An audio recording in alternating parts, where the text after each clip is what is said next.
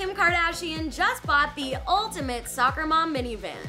Kim just bought a custom luxury Maybach van for a whopping $400,000. The van comes with multicolor roof lighting, folding tables, and captain's chairs.